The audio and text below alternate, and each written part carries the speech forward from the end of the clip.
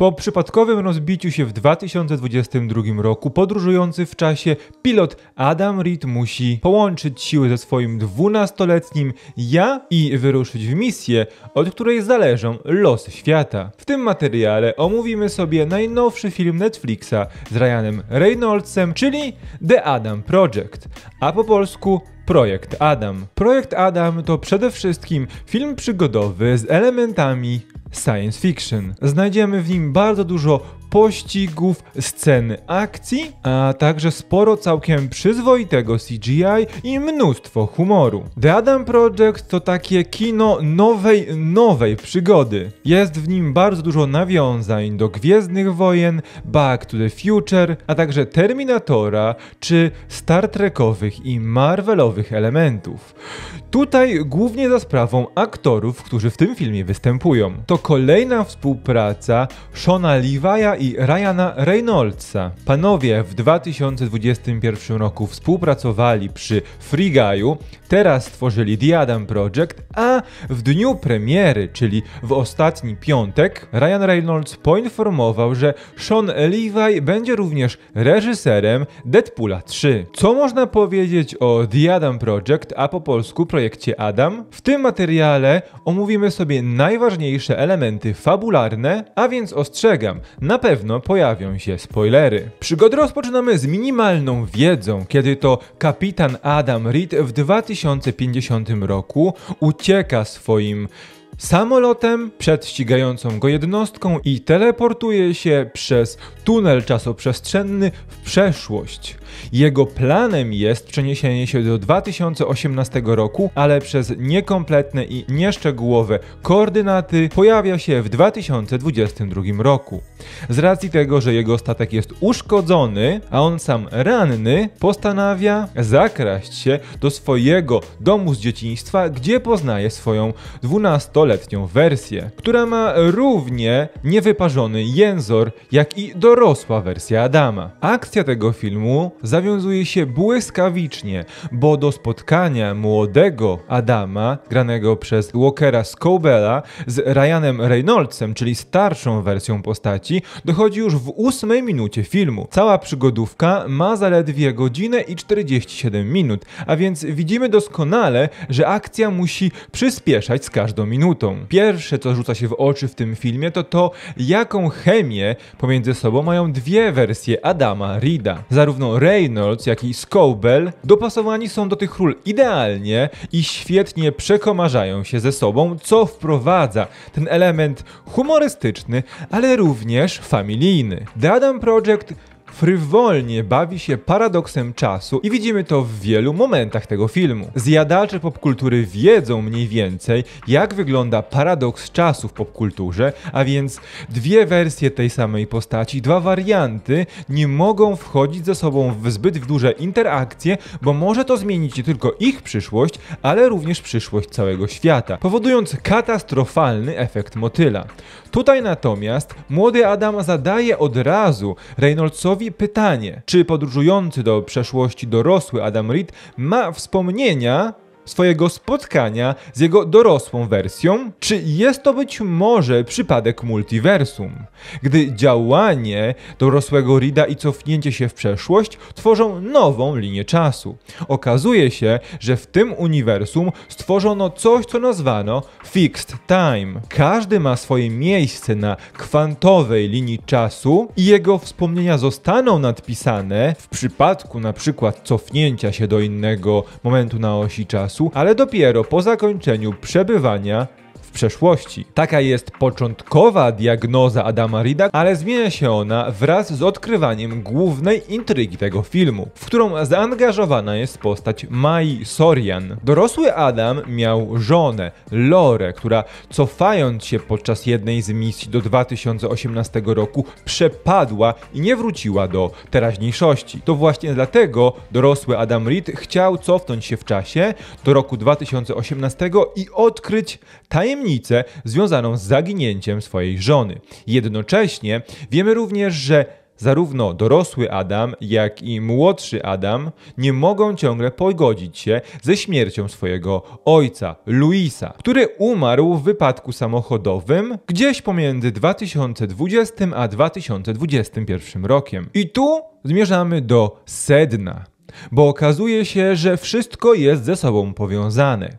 Ojciec naszego głównego bohatera pracował nad teoretycznym zastosowaniem tunelów czasoprzestrzennych, które miałyby pomóc w podróży w czasie, natomiast Maja Sorian finansowała jego badania i w pewnym momencie postanowiła zagarnąć wszystko dla siebie. To właśnie dlatego podczas misji Lora przepadła, bo chciała poznać prawdę, a teraz Adam cofnął się w przeszłość, bo miał co do Sorian pewne podejrzenia. Louis Reed, czyli ojciec Adama, rozpoczął pracę nad podróżami w czasie, ale to Sorian spieniężyła całą tą technologię, de facto przejęła kontrolę nad całym tym przemysłem, stając się kimś na wzór militarnej organizacji kontrolującej wszystko, co powiązane z podróżami w czasie. Niesamowicie wzbogaciła się na tej technologii i stała się kimś na wzór imperatora. Tak przynajmniej sugerowałaby jej armia, która bardzo mocno przypomina armię imperium i szturmowców, tylko że w czarnej wersji mundurów. Projekt Adam to właśnie ta technologia, która doprowadzić miała do stworzenia podróży w czasie. I w tym momencie, w momencie zawiązania się tej głównej intrygi, film wskakuje na wyższy bieg, bo pojawia się mnóstwo scen akcji i choreografii walk, które wyglądają naprawdę dobrze, jak na film Netflixa.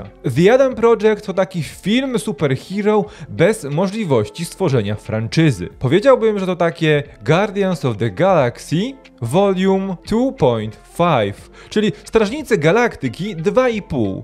Oczywiście tylko dlatego, że w tym filmie występuje Zoe Saldania. I właśnie w tym momencie, gdy do głosu dochodzi Laura i jej misja w 2018 roku, rozumiemy, na czym polega cała intryga. Adam i Laura bardzo szybko dochodzą do wniosku, że Sorian już wcześniej wykorzystała program podróży w czasie, i przeniosła się do 2018 roku, dzięki czemu zmieniła przyszłość i o wiele łatwiej było jej przejąć kontrolę nad całym programem i zająć tak znaczące miejsce w globalnym, technologicznym i politycznym świecie. Dzięki tej ingerencji w przeszłości jeszcze mocniej zmieniła na swoją korzyść przyszłość. Ostateczną misją w tym filmie będzie cofnięcie się do 2018 roku i próba powstrzymania Sorian przez zniszczenie The Adam Project. Jednak Lora nie może przenieść się w czasie po raz kolejny,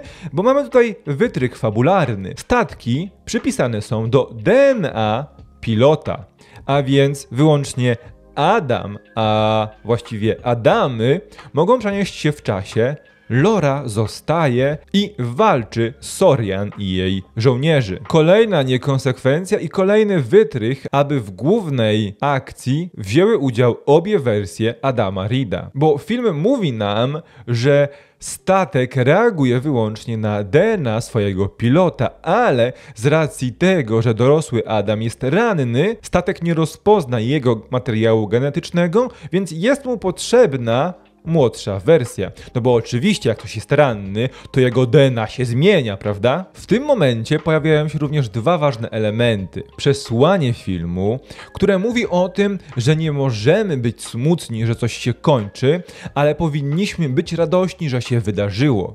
Ponieważ gdy Adam cofnie się do 2018 roku i zniszczy The Adam Project, który spowoduje, że technologia podróży w czasie nie będzie istniała, nie spotka nigdy Lory, którą poznał w akademii przygotowującej pilotów do misji mających na celu podróże w czasie. Adam twierdzi, że przez to nigdy się nie wydarzą. Nigdy się nie spotkają. Na co Lora odpowiada mu: My już się wydarzyliśmy i każdy nasz wspólny moment również się wydarzy i zawsze się wydarzy.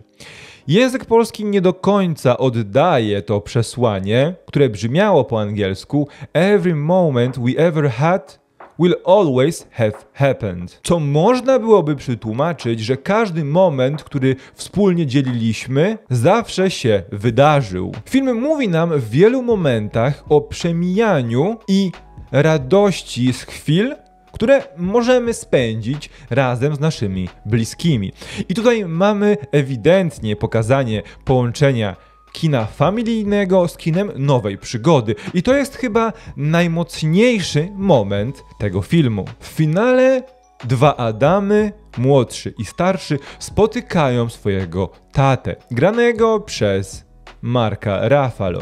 Pierwotnie ojciec jest bardzo sceptyczny do ich planu, ponieważ jako naukowiec wierzy, że nie może ingerować w przepływ czasu. Jednak później, rozumiejąc wagę tego wszystkiego, co się wydarzyło i tego, że jest odpowiedzialny za stworzenie technologii podróży w czasie, postanawia im pomóc i sugeruje, że najprostszym rozwiązaniem, aby zniszczyć technologię i aby podróże w czasie nigdy się nie wydarzyły, jest zniszczenie dysku zawierającego algorytm, który doprowadził do stworzenia tej technologii.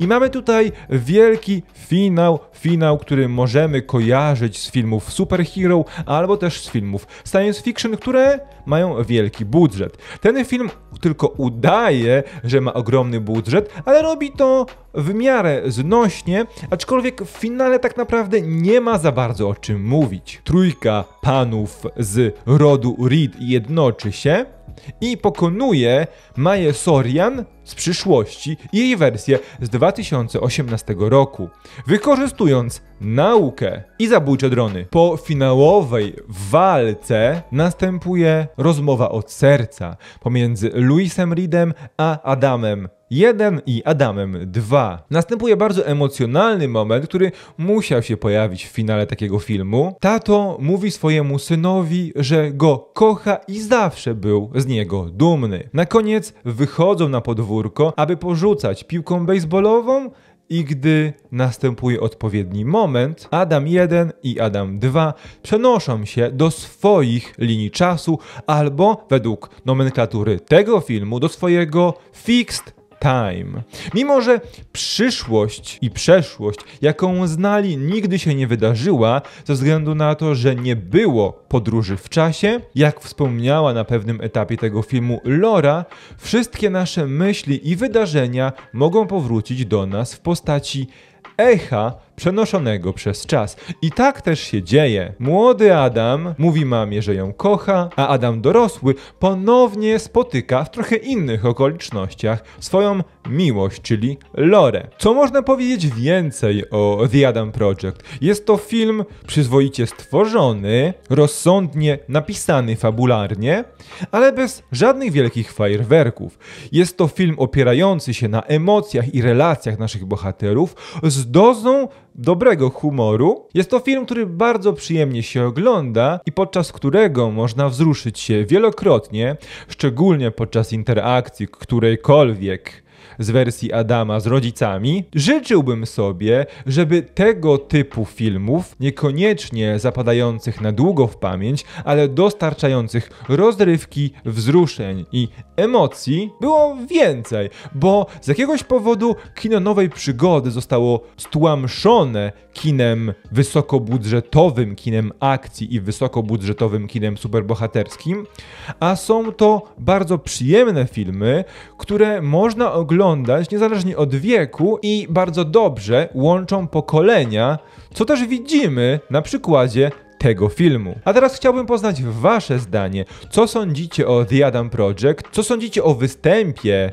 Ryana Reynoldsa, Marka Ruffalo, Jennifer Gardner, Zoe Saldani? Czy młodego Walkera Scobella, a także co myślicie o tej formie, kolejnej formie opowiadania nam o podróżach w czasie i o regułach, które nimi rządzą. Czekam na Was w komentarzach, a my widzimy się w kolejnych materiałach wideo. Dziękuję Wam za dziś, trzymajcie się, cześć.